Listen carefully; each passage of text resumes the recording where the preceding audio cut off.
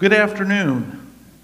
We, we get the pleasure slash speed to close this so you can go out and have a cocktail afterwards. So I appreciate being here. It's an honor to be able to host um, my people, my farmers, the farm community.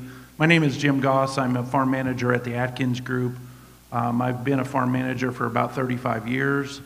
I started out as a little kid with sows, cows, and plows, and I transitioned into agronomy, spreadsheets, and communication for landowners. So it's a pleasure for me to be able to up here to host the producers panel. I'm going to let each of them take a minute or two and introduce themselves. My name is uh, Eric Rund. I farm uh, 20 minutes south of here, actually. Corn, soybeans, and miscanthus. Um, I came to the University of Illinois as a student and um, spent years in Peace Corps after that, and I'm back home now. We're farming again, and uh, about 16 years ago, we started growing biomass. Shortly after uh, the energy farm was uh, opened here at the university uh, held a lot of interest for me because you could raise more ethanol per acre than you could with corn, theoretically. And so uh, I figured if we're going to have be uh, producing ethanol, well, do it the most economical way. Besides that, it had a lot more benefits as far as uh, soil erosion, nutrient, um, uh, keeping the nutrients on the, on the ground. So, and from there, long story, we'll pass it on. My name is Sarah Hastings. I um, co-own a grain handling business, so I build the big silver circles out that you see that hold corn, soybeans, any other crop you can put in them. And I also farm, and our farm kind of starts right where Urbana stops. My neighbor up the road has an Urbana address. So um, we grow traditional corn and soybeans, and um, hopefully raising our next generation on the farm. Uh, my name is Eric Miller, uh, farm in Piatt County. So that is about 35 miles southwest of here. Uh, we grow corn, soybean, wheat, and uh, we also do cover crops. Uh, it's mostly a no-till and strip-till operation. And starting in 2014, uh, we started hosting University of Illinois researchers on the farm, and that continues today. Uh, and I did, uh, I was invited to speak here today because I was the winner of the Glen Brandt uh, Prize last year.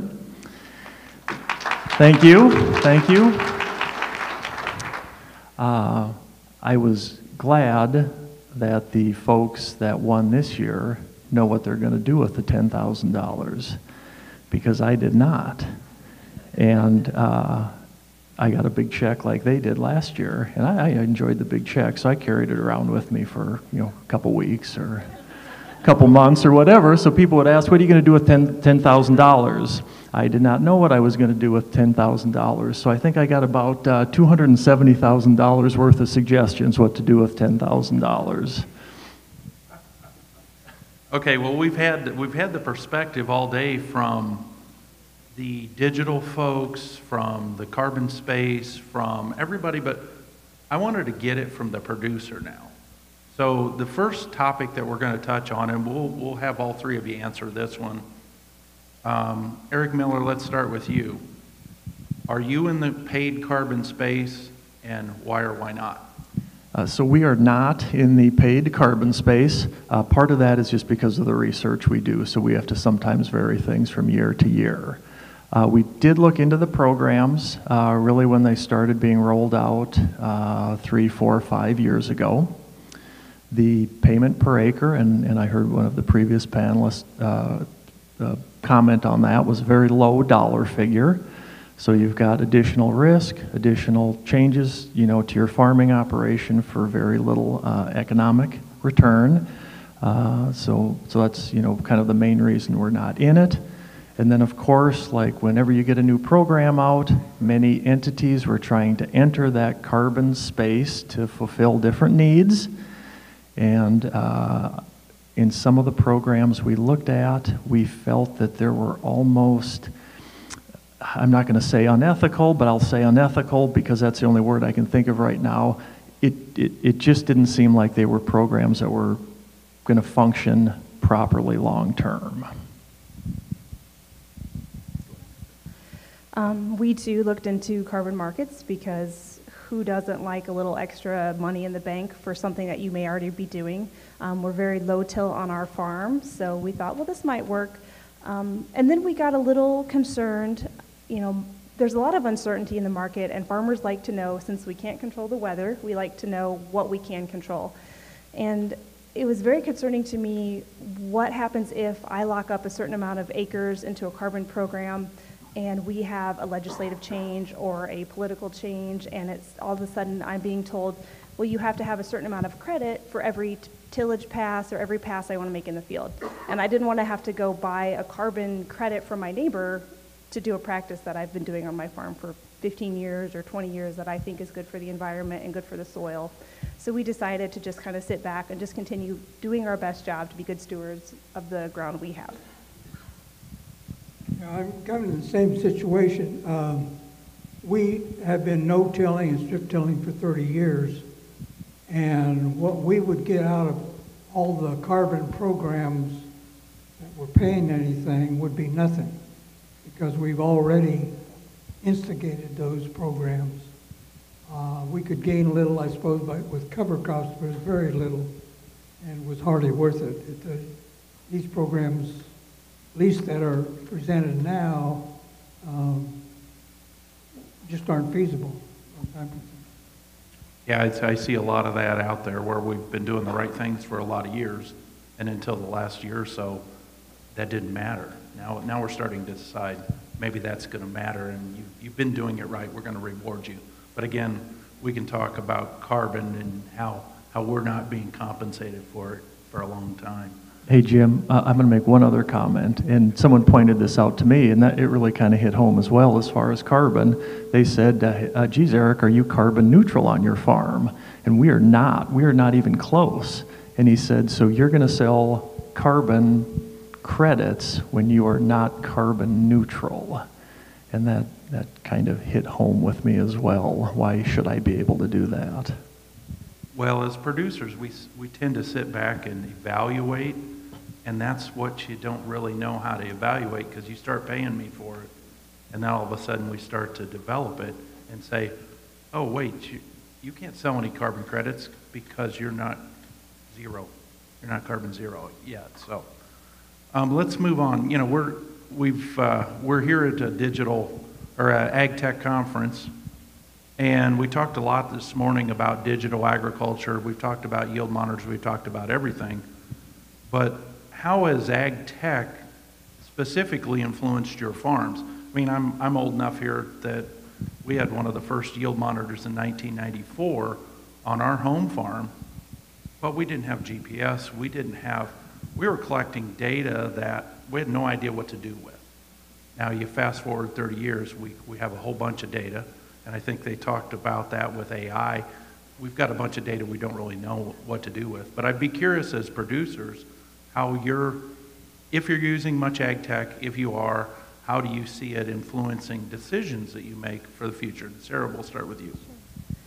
Um, it's, it's always nice to have a way to measure quantitatively what you do on your farm. So, you know, we use it if um, we'll maybe split a field into two different tillage practices. And it's really nice to look at the end of the year and see um, did that have an impact on yield? Or do we have a spot that year after year is either high yielding or low yielding? Do we need to build fertility? We, you know, we soil test on a on a grid to make sure that we're spreading the right nutrients. But, you know, does this farm need a little bit of extra tile in there to control a wet spot that's in a field? And it's, it's nice to compare, you know, how did this hybrid perform? Um, planting date is really impactful on our farm. How early we get out there really affects our yield. And it's just nice to be able to quantify what you see out there at the end of the year. It's one thing to look at it when it's out and growing, but it's another to see the real numbers when you look at it.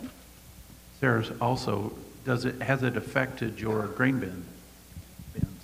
Um, we have a lot of farmers putting controllers on their grain bins that monitor continuously the right amount of air. So you want to put just the right amount of air on your crop. If you have a grain that needs drying down for longevity of storage, you need to bring bringing in drier air usually to dry it off or keep it at the right moisture. And it's really nice, you know, we, we- before, before some of these um, monitoring cables and moisture sensors, it, you didn't have a way, you, you'd have to dig in there. So, you you know, we always tell farmers, put your, open up the door, go look at it.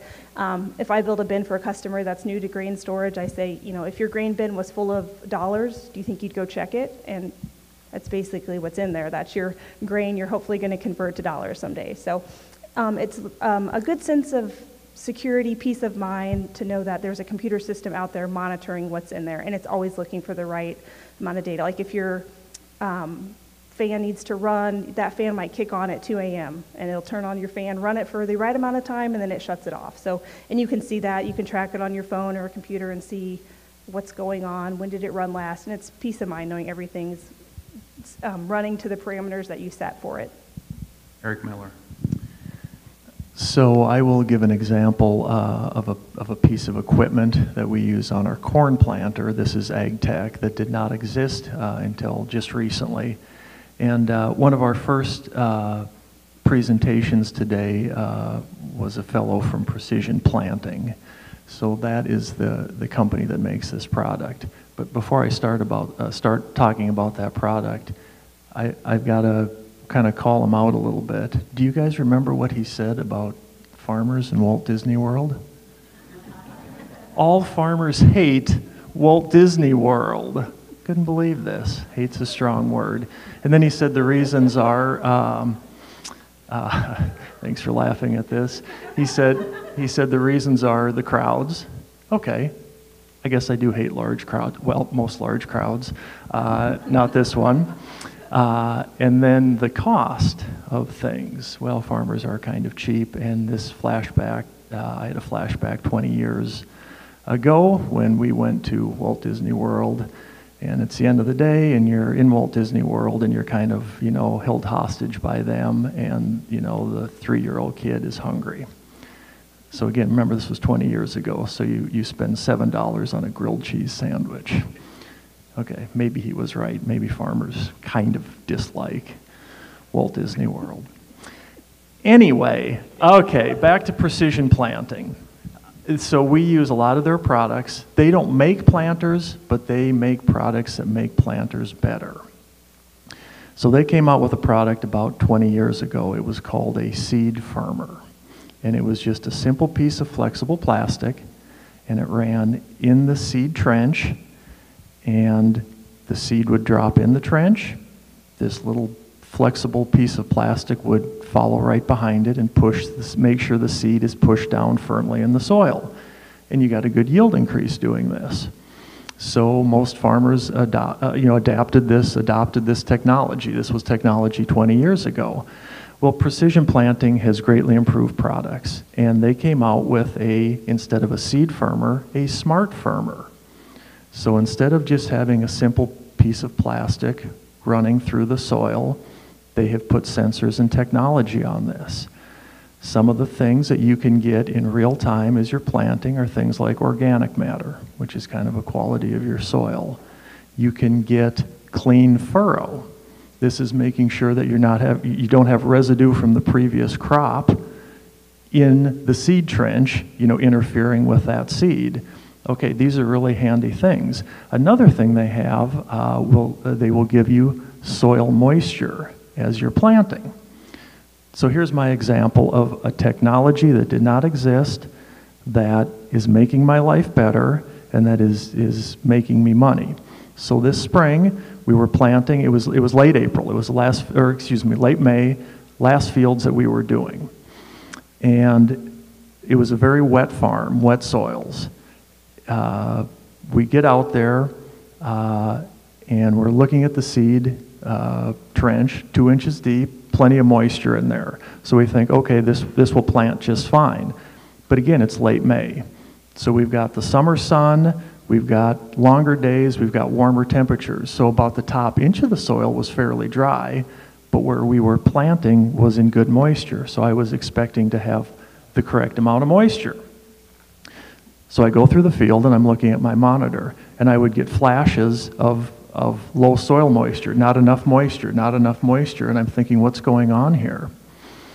What was happening was I didn't have enough down pressure to keep that seed trench sidewall stable. And the dry soil was falling into the bottom of the seed trench and getting onto the seed. So instead of planting that seed into moisture, it was being planted into dry soil. I couldn't, if I didn't have that technology, I knew I had moisture at the two inch depth. I, I would not have known this. So this kept happening, you know, for a round or two. So we got out and we finally started digging around. And I've got just enough experience planting where I knew I think, I think I'm getting dry soil in the, in the seed trench. So I just increased the down pressure on the planter, a minimal amount, and, and that solved the problem. I don't have pictures of it today, but you, we went out and looked at the field after emergence. There were field, uh, there was a lot of plants that were in moisture that germinated, but I would say 15% of the plants needed a rain on it before it germinated. So we had different growth stages. When you have plants that are at different growth stages, the late emergers don't become weeds, but, but your yield potential goes down drastically. So that is a five-minute explanation of a, of a you know, true product that, is, that, that worked for us and, and will work in the future. Yeah, I was gonna, you stole my thunder. I was gonna, we have that same equipment on the planter. Um, and that is truly amazing. That will do more for increasing yields than uh, probably any of the technology that came along in the last few years. Uh, um, yield monitors, I'm the same way with you, Jim. We had them at first. The first thing, about the only thing you could do with them is it's kind of neat that you're getting more yield here than there. But no one had come up with the algorithms yet to what do you do with this piece where the uh, yield was a little higher. Well, what do you do there? Do you add more fer- fertilizer there to get a little more yield? Or do you cut back on the fertilizer there? Do you, uh, now we've got planters that can adjust this, the number of seeds as you go through the field according to the soil type. Uh, we need universities to do a little study in here to tell us, come up with the algorithms to plug into the planter to tell us when, when is the best time increase the population, when is the best time to cut back. Um, and all this has come about because of the technology that's come down the road. It has caused us to, uh, well, well, and a good example of what has allowed us to do is uh, put soil um, yield tests, plot tests, if you would, on a 40 acre patch rather than a patch the size of this room. Because the yield monitors and, and the technology on the planter, we can separate out what we do in each plot and come back and harvest, come back and harvest, and harvest with the combine and record what the yields were in each one of those plots. Um, technology has come along and given us more questions than, and answers sometimes. Um, No, I would agree with that. I, I look at thousands of acres of yield data every fall, and many times I have way more questions than I have answers. Now, that's intriguing because that means that even though we're, we're hitting high, high yields now, there's more there available.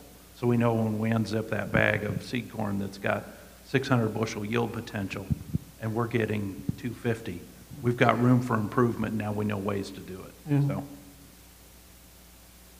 Eric, I want to touch on, I mean, because you grow the miscanthus, I want to touch on that. We're, we know that the green energy wave is, is happening here in Illinois. And we see a little buzz about, little buzz about bioenergy crops, miscanthus especially, today.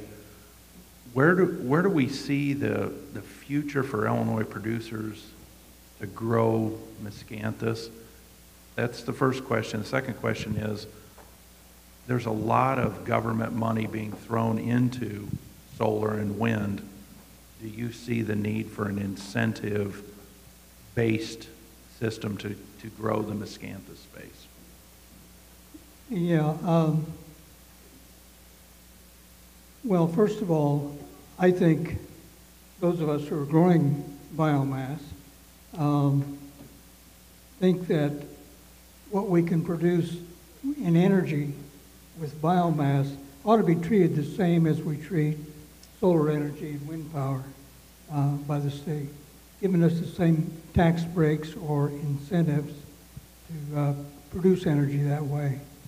Um, if I burn, uh, University of Illinois at the energy farm has a boiler now that burns miscanthus or any kind of biomass, and it can produce heat for half the cost uh, in the fuel as you can with LP gas. That's a pretty big incentive. Why aren't more people using it? One, of the main reasons is, is that the equipment is more expensive to get started. Um, we spent uh, three different trips to Germany and, and Europe looking at biomass boilers because they've been using biomass a lot longer than we have for to heat their homes, the schools, the factories, and um, uh, they have a technology in boilers that we, we simply didn't have here. We looked for one when we put one in at the energy farm. Um, the, uh, the equipment's a little more expensive to get started with, but once you're there, fuel is half the cost, you're saving half that energy. And uh, even though you're burning something, what you're burning and releasing in carbon, that plant collected that same carbon when it was growing. So really, you're almost carbon neutral. Um, and I think that ought to be rewarded by the, by the, by the public, uh, by the government, uh, the way it rewards uh, solar and wind power.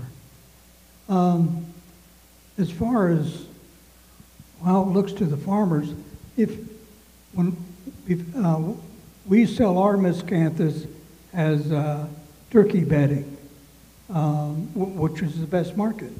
They paid the most for it, and uh, for years we were making as much or more money with miscanthus than we did corn or beans.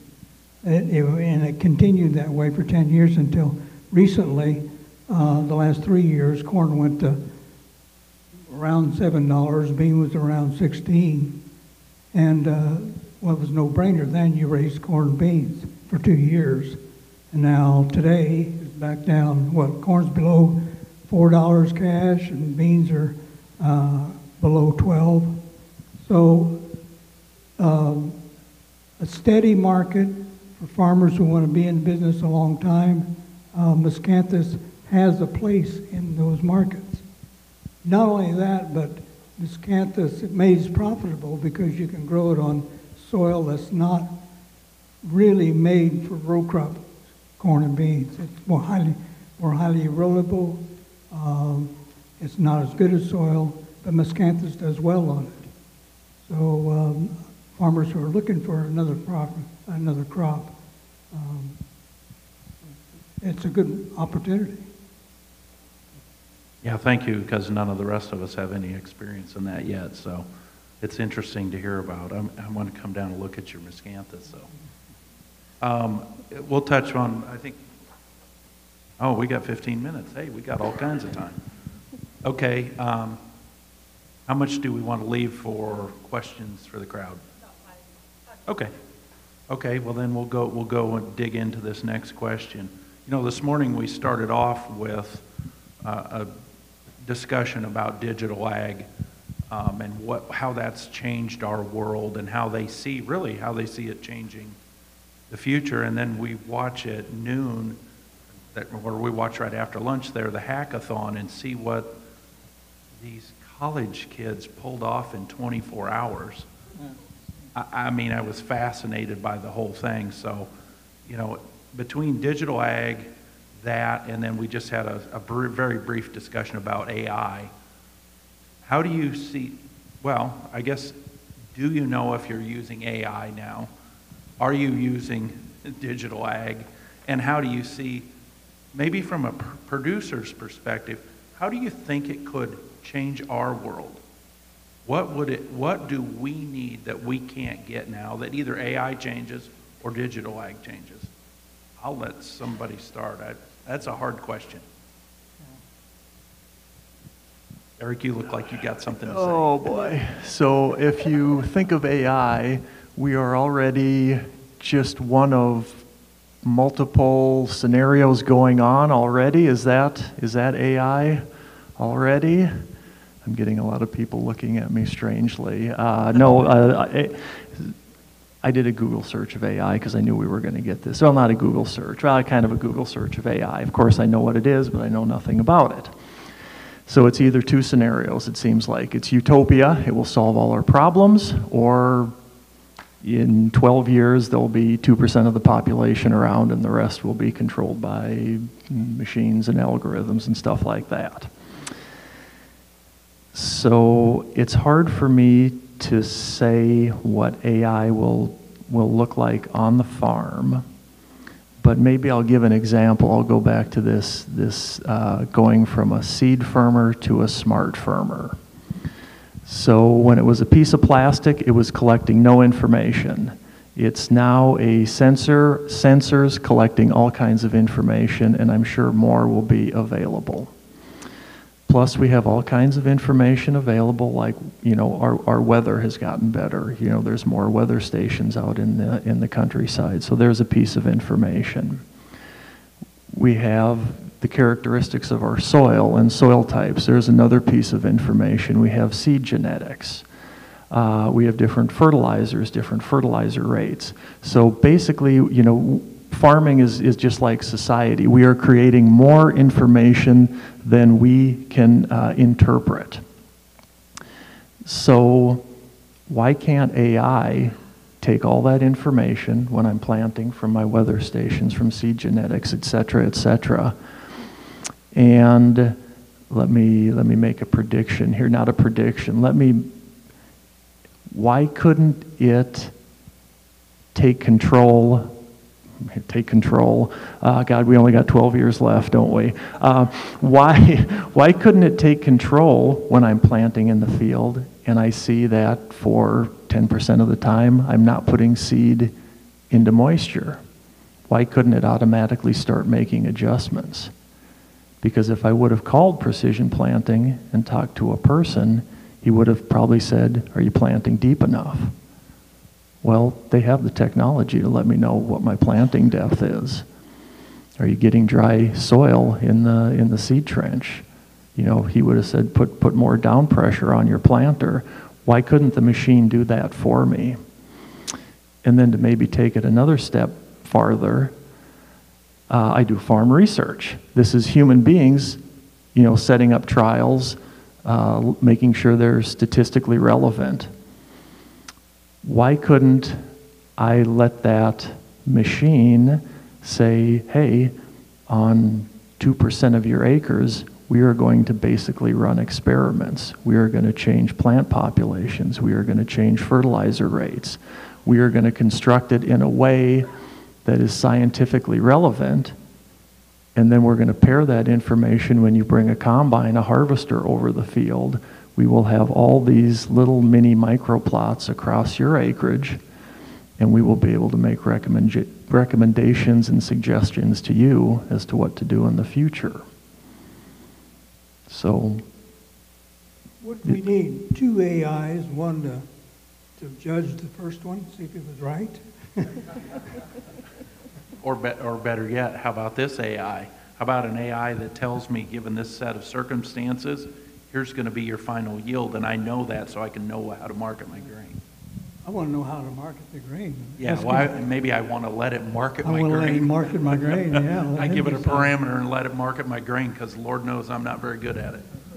Sarah, did you have anything to touch base on that? Um, Not really, I, I agree with that. That would be really interesting to let it, I was just thinking, who programs the AI to judge the AI? But uh, um, I, you know, being in the construction industry, um, still pretty low tech, I need a lot of bodies on the ground. I'm hiring, by the way, if anybody wants to, st- has a college student or a high school student, they want to stay, uh, scare into staying in school, I'll make them work hard all summer, and I guarantee you their grades will go up. So, um, but you know, I need bodies on the ground willing to work. I would love to have a little fleet of robots out working for me, but uh, unfortunately, they're not there yet. But maybe they can tell me that, follow me around and tell me a better way to build effic- more efficiently or what I'm doing wrong. But um, it's just really fascinating all the all the all the variables that go into that, and part of me wonders if uh, you would have to tell the AI like machine like, are you measuring the dry dirt? And without going out and digging in the dirt and seeing what's happening, you know, there's no substitution for digging in the ground and seeing what's happening with your planter. And uh, you would have to take that data and tell the AI system, this is what I'm seeing, even though we put all the parameters for this, this is what's actually happening. And we have to adapt because every field we have is variable. There's no perfect 100% ground that's the same. So they have some catching up to do. They'll prob- probably outpace me in the learning field, but um, until they can go out there and dig and see what's going on, I think it's going to be a little slow to catch up, but I'm continually surprised at how fast I'm behind on the times, so. You- Eric, did you, Eric Rund, did you want to touch anything? Well, not really, I don't understand. It's so complicated, so complex, and so involved in humanity. There's so many questions we have to answer as society. How far are you going to let this go before you start regulating? I think we've already started regulating it, haven't we? Um, if you've got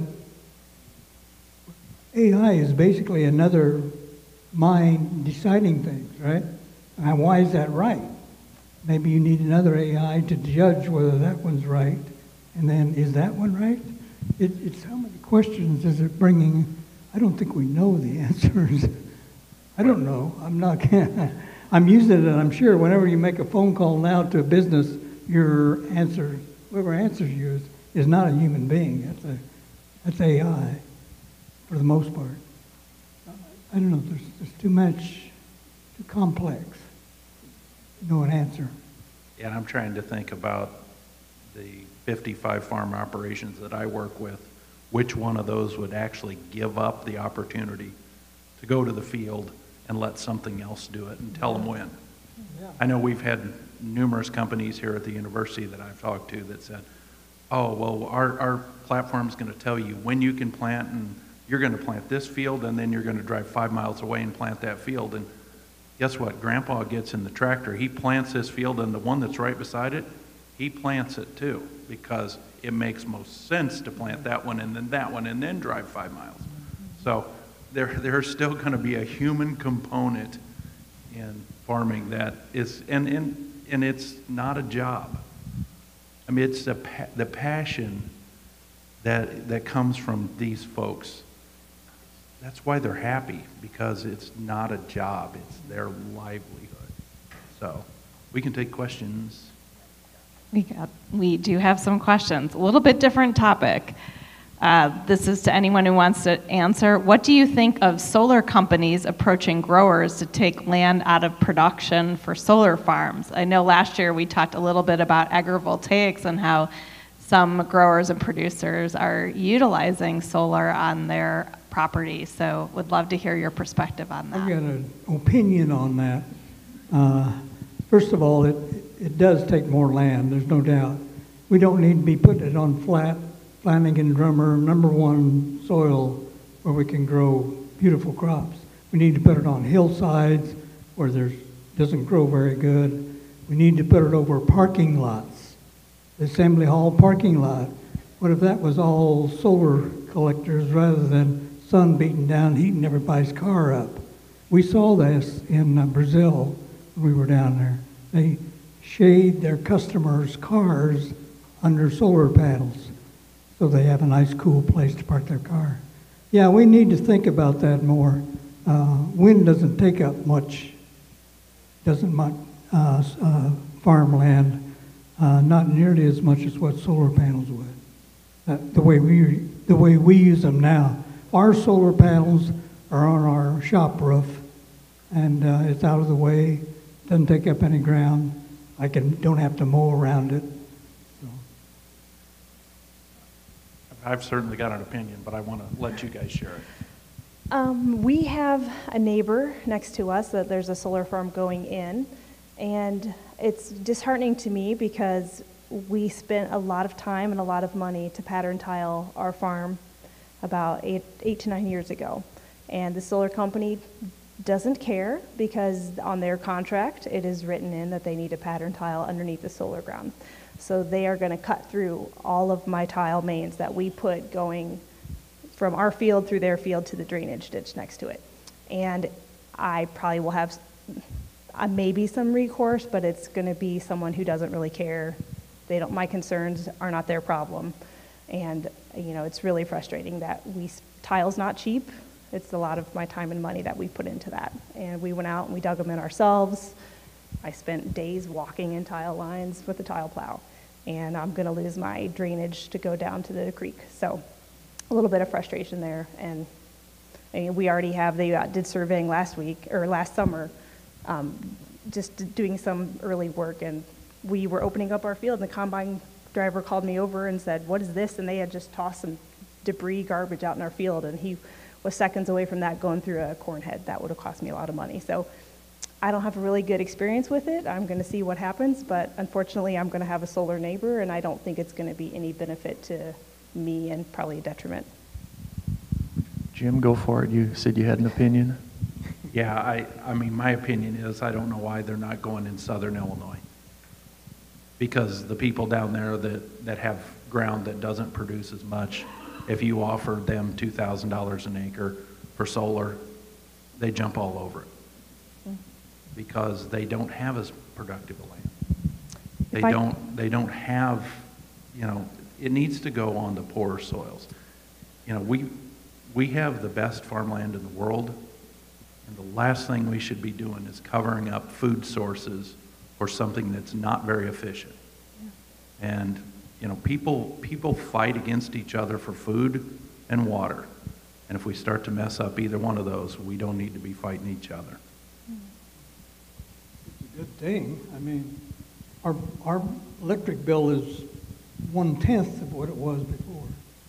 And it's a good thing to do. We've got to use our head when we put it, in my opinion. One more question. This question is from one of our hackathoners. Have any of you considered more, quote, aggressive sustainability practices such as intercropping multiple crops or crops with livestock? Uh, yeah. So we don't do livestock. Uh, part of that is just the infrastructure has disappeared in East, East Central Illinois. Uh, we did add wheat to our rotation a few years back. So when you go from a corn soy rotation, you have crops growing probably four or five months out of the year in a corn soy rotation. When you go to corn soy wheat, and then we do double, uh, then we do uh, double crop after wheat and we do a cover crop after our corn crop, we are generally having living roots in the soil about 30 months out of that 36 month period in that three crop rotation. So um, that is something that we have done. And I know we're kind of getting up against time, so I'll pass it off. The, the only thing, we've got the regenerative farm north of town that we're talking about. We- We have to figure out how to make the equipment side work, but talking about intercropping uh, wheat and soybeans in the same crop. So we plant wheat, leave a space to plant soybeans in the spring, and then we would harvest the wheat. The soybeans would be left to, to fill in that area, so we would really double crop essentially, but the, the, the wheat should be about the same yield as it is normally on about half the population. The soybeans should be as good or better, and we believe that has an opportunity. But again, you still, it's, it's a, it's a commitment of a different equipment. It's, a- it takes a lot of logistics, which we haven't got done yet, so. As, as our climate warms up around here, uh, double crop uh, soybeans and, and wheat has more potential. Used to be Interstate 70 was the line, anything um, below that, you could get pretty good double crop wheat. Anything above that, eh, two years out of three, you'd have a crop. The rest- other year would freeze off. Uh, but anymore, guys around where I live uh, are beginning to plant double crop. Especially with the Yo- war in Ukraine, the wheat prices went up. They really got interested then. So, Got a question over to my left. Go ahead. Eric? This is on? Yes. Yeah, so uh, my name's Eric Barnard. I'm with Harvest IQ. Your comments about uh, AI helping you with grain marketing, um, I might I might know a guy that can, that can help you there. So, um, and to kind of play into that question, you know, I, I work with my dad quite a bit. We farm over in Indiana, corn and soy, and I could talk to him for hours about agronomic learnings, agronomic decision making, how we're planning for next year. But I'm sitting here looking at markets, like December corn just closed at 459 plus, you know, $2 over the last two years. At what point do you say, I'm going to put the same kind of energy that I put into my agronomic planning and decision making and shift that focus to my, my marketing plans? Trying to look across insurance and all the various new insurance products out there, hedging, my contracting strategies, all kinds of fancy contracts now that you can do. So I just wonder, how, where do you have that internal gut shift of like, yield is not what I'm going to try to maximize. I'm actually going to try to maximize maybe more on the price side. Uh, you're right. Yeah, that's, that's where you could make money for your farm is do a better job marketing. Much easier to do it that way physically. Uh, on the other hand, it's much harder to do mentally. I need to sell now when it's seven dollars and you're nine months ahead of a crop being harvested. It's not easy. I don't know if AI can do that, can they? Maybe get a better average for you probably than I could. But, uh, So the human condition in grain marketing is fear and greed. So when the price is going up, you don't sell because hey, the price is going up. So it was four dollars today, it'll be four fifty tomorrow. Then it gets to four fifty, and you say, boy, I, I should probably sell at four fifty, but you know it was just four, and it went to four fifty. That's the that's the greed part. Fear is is what's happening here in the last few months. Corn was six dollars, and then it was five fifty, and then it was five dollars, and you don't sell because, well, fear has set in. You are losing money, and you don't say, "Hey, I've I've made a mistake, and I need to sell at a lower price." You just let it go. So I think AI in, in grain marketing is, I hadn't really thought of that, and I, and I apologize for that, but yeah, I think that is a big factor in spending the time and the resources to, to better address grain marketing, yeah, is, is impactful, and more farmers need to do it. It looks like Jack's got a question. There has been uh, comment, Jim, that you made. I think it's kind of been a little bit of a theme with some of the panelists about how farming is a passion. Farmers have, are more satisfied with their job. And I think one of the things I would love to hear from each of you is the task that you do that would be the first thing you would want to get rid of, and the task that you do that would be the last thing you would want to give up. Or if you had to give that up, you would probably just stop farming. Grain, grain marketing is gone. Okay, what's your favorite one? What's the one? Favorite, well, f- favorite a- actual operation would be harvest, of course, because then you, you know, you get to actually see and quantify and verify uh, what, what you've done. yeah, I agree. Harvest, you see the fruits of your labor the whole year right there. Actually see it. It's the fun. It's the most fun for me. I'm maybe the oddball out here, but I we store all of our grain. Um, since I'm in the grain handling industry, I feel like I have to be able to tell farmers that I do store all of my crop, which helps me with marketing. I have an independent marketer, and I sell all my grain to him, and so I have no ego in the game. And uh, I've done some preliminary tax work, and he does pretty good work for me. So for very cheap pennies on the bushel, so it works great for me. Um, I love cleaning out grain bins. I love sweeping grain bins. I love scooping corn. So um, it's a great exercise, and you get to. There's nothing you know, about holding something you produce. Like I love every scoop of grain that I move. So I'm kind of I'm kind of an odd duck, but I love cleaning out grain bins. I absolutely hate greasing implements and tractors. So reading the sticker on the side of it and you know, is that a 50 hour? Did I do that one yet? Climbing underneath you know, a tillage gang on the ground. There's always a rock that you sit on wrong and um, then you dig, you know, you slide like a snail underneath the equipment, and then of course that's when your grease gun runs out, and you got to snake your way back out and put in a new cartridge. So that would be me. I, I hate greasing equipment. I think, well, it's a quick question, Elhan? It is a quick question.